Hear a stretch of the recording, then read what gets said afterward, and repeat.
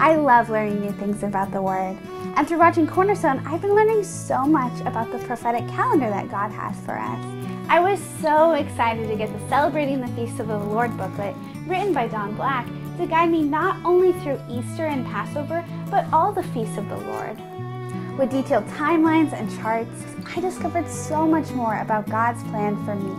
When you give to Cornerstone this month, request your own copy of Celebrating the Lord's Feast booklet.